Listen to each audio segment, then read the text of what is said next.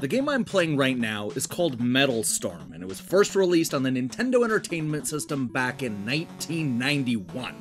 If this is your first time seeing this game, then don't worry, you're not alone. This 2D classic from Irem may have been praised by critics at the time and featured on the cover of Nintendo Power, but it has sadly been forgotten about in the last three decades. You see, it was never part of an old school compilation, it didn't make its way to the Virtual Console, and there have been no physical re releases since MC Hammer was too legit to quit. That is, until now. I'm gonna take a break from the usual reviews and shows to talk about something I'm really excited about the Metal Storm Collector's Edition. This is a massive box set coming from Retro-Bit Publishing and Limited Run Games. And if you don't mind, I want to spend a few minutes explaining why you should be excited.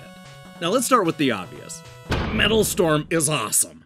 I mean, look, there are a lot of old games that don't hold up, but this one still feels as fresh and exciting as it did 28 years ago. Part of the reason for this is because of the gravity defying gameplay, where we control a mech that can jump between the ground and the ceiling just by pushing a button.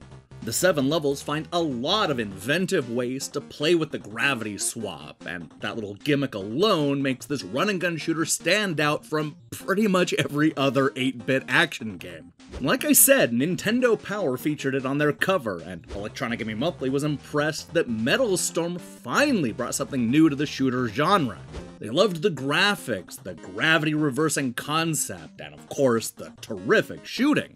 And guys, having just played through it again this past weekend, I have to agree. This game definitely holds up. But look, I get it. I probably just sold you on downloading the ROM and playing Metal Storm through emulation. But before you do that, let me just mention that this upcoming re release comes with a brand new opening cinema. And folks, it really goes beyond that because Retro-Bit has finally, for the first time ever, translated the original Japanese into English. Now, if you played the old Nintendo Entertainment System version from 1991, then you may remember the shoddy localization. What you may not know is that Irem changed the story and ending, completely removing the social and political point the game was trying to make and instead tossing in a bunch of space magic. There's a whole boss fight that has dialogue in the Japanese version, but it's dead silent in the original American release. All this has been fixed, giving players the actual story. Oh, and that reminds me, this version of Metal Storm is tougher than what we got in the West. Look, this is the original Japanese version through and through, and you'll definitely see that in the two difficulties. This is a challenging game, but it's fair. There are unlimited continues and even a password system. But man, this game gets tough at the end. The footage you're seeing right now is from the brand new version, and those last few levels kicked my ass. Now, let's say you're the type of gamer who isn't normally impressed by new localization, a tougher difficulty, and action packed gameplay.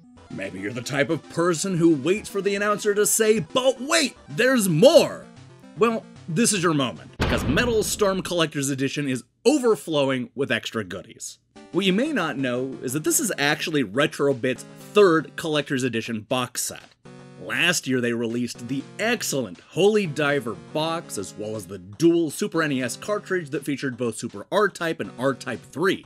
These box sets remind me a lot of the Criterion collection for classic games, only without the spine number, which is important. Come on, guys, put in the spine number. Look, I'm a Criterion collection collector, so this kind of thing appeals to me in a big, big way.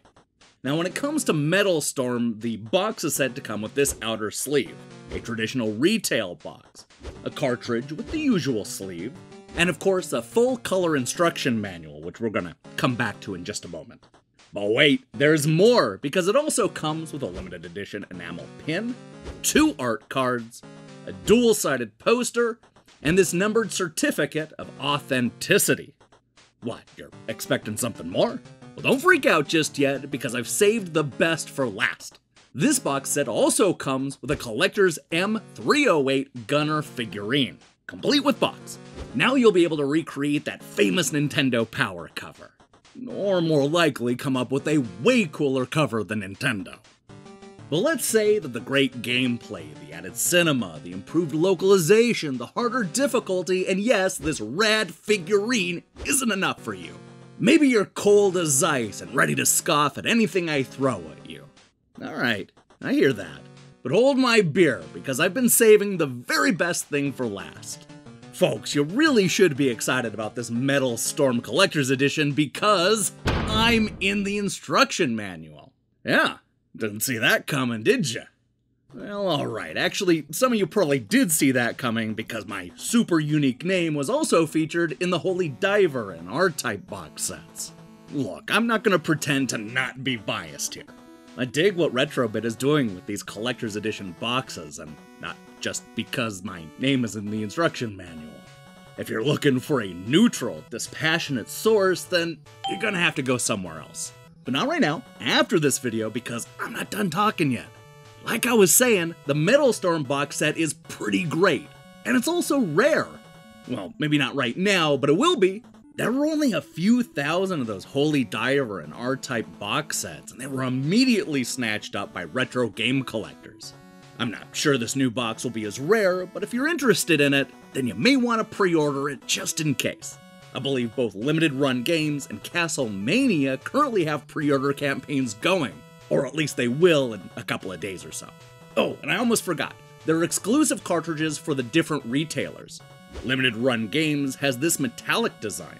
Retro-Bit Europe has this translucent version. And Castlemania, as well as other independent retailers, will have this dark blue model. Oh yeah, there's also this black cartridge if you want to buy the standard model. But come on, when there's an M308 gunner figurine in the mix, you probably should just buck up for the collector's edition, am I right? Look, I've said it before and I'll say it again. I'm biased on this topic. The truth is, I think this is a fun game worth playing, whether you decide to go with the standard edition, the collector's edition, or just download the ROM. But I know there are a lot of people in my audience who still buy old NES games, so maybe check this one out. And who knows? I may just have one of those Metal Storm Collector's Editions to give away when it comes out in November. Yeah, how's that for a tease? So there you have it, my Metal Storm sales pitch. Now, if you would, let me get back to playing new games, pretending to be old games, so that I'll have something to post next week.